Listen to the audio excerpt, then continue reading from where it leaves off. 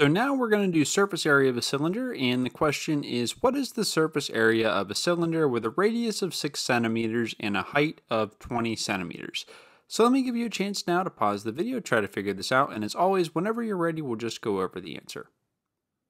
Okay, so this question here, the key to getting this right is first of all picking the right formula, which we see on screen right here. And second of all, just taking your time and just plugging the numbers in and putting the calculation into your calculator, and that'll give you the answer. And this should go without saying, uh, but this is just a reminder to just always double check that you put the numbers into the formulas the right way, and also double check that you put the numbers in your calculator the right way. I mean, if you're if you have time to, I would even do the calculations twice, or at least just look at your calculator screen and make sure that you put it in the correct way. And I know it sounds like common sense, but I, I, just don't want you to lose any points on your test just for a calculator error or just for putting something into a formula wrong.